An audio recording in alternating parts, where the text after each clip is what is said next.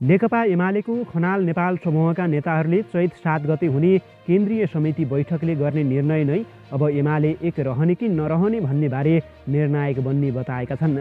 So बैठकमा पनि अध्यक्ष ओलीले एकलौटी ढङ्गबाट अघि बढ्ने शैली देखाएमा उनीसँगै एउटै पार्टीमा नरहने स्थिति आउने उनीहरूको भनाइरहेको छ। नयाँ बानेश्वरमा शनिबार भएको सो समूहका केन्द्रीय सदस्यहरूको भेलामा नेताहरूले सो निष्कर्ष निकालेका हुन्।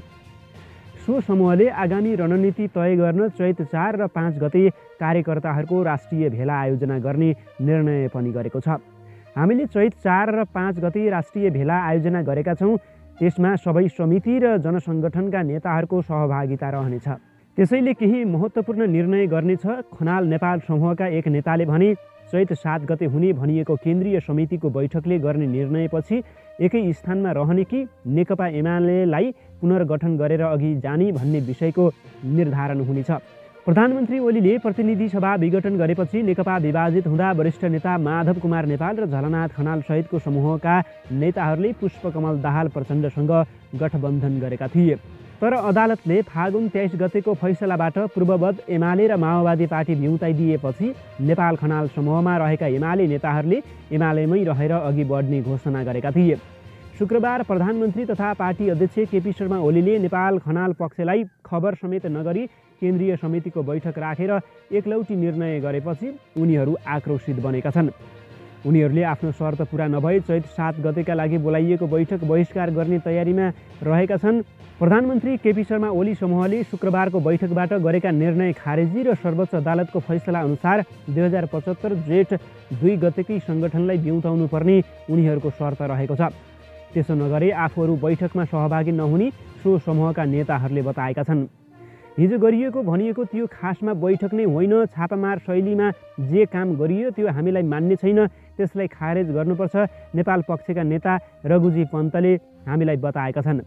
त्यसै गरी सर्वोच्च अदालतको फैसला अनुसार सङ्गठनले काम गर्न पाउनुपर्छ भन्ने भेलाको निष्कर्ष रहेको छ। अदालतले पार्टीलाई एकीकरणभन्दा पहिलेको अवस्थामा बिउताएको हुँदा सो संरचनालाई निरन्तरता दिनुपर्ने उनले बताए। बैठकहरू विधान र विधि अनुसार सञ्चालन गर्नुपर्छ।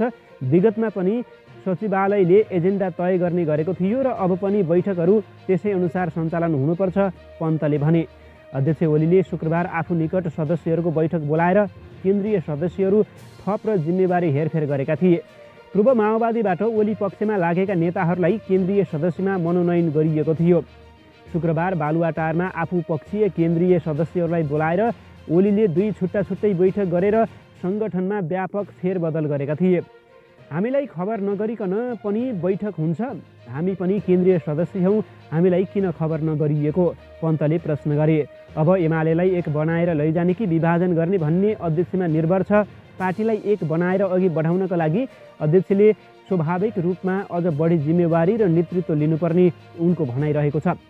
शनिबार आयोजित एक कार्यक्रममा प्रधानमन्त्री ओलीले चैत सात गते बालुवाटारमा बस्ने पार्टीको केन्द्रीय समिति बैठकमा सबै उपस्थित हुनुपर्ने र अनुपस्थित भए विधानअनुसार कारबाही हुने चेतावनी दिएका छन्।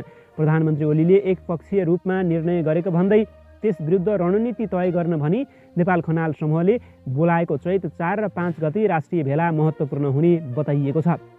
भेलामा केन्द्रीय सदस्यहरू पार्टीका विभिन्न निकायका सदस्य प्रदेश समितिका सदस्य जिल्ला समितिका पदाधिकारी गाउँ समितिका अध्यक्ष जनवर्गीय सङ्गठनका केन्द्रीय सदस्य प्रदेश समिति र जिल्ला समितिका पदाधिकारी सङ्घीय तथा प्रदेश सभाका सांसद स्थानीय तहका प्रमुख तथा उपप्रमुख सहभागी हुने केन्द्रीय सदस्य निरज आचार्यले बताए।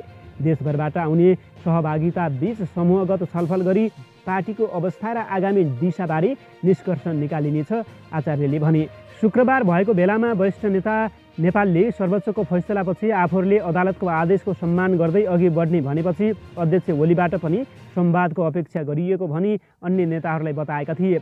अदालतको फैसलापछि कसरी अघि बढ्ने भनी अध्यक्षबाट फोन आउँछ भन्ने अपेक्षा गरेको थिए तर कुनै पहल भएन। विष्णु पौडेललाई मैले आफै सम्पर्क गर्न खोजेको थिएँ। उहाँ पनि सम्पर्कमा आउन चाहनु भएन।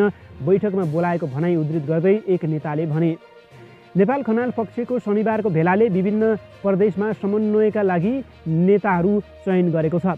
प्रदेश नम्बर एकमा भीम आचार्य प्रदेश नम्बर दुईमा घनश्याम भूषाल बागमती प्रदेशमा अष्टलक्ष्मी साक्य गण्डकीमा सुरेन्द्र पाण्डे लुम्बिनी तथा कर्णालीमा युवराज गेवाली र सुदूरपश्चिम प्रदेशमा भीम रावललाई संयोजन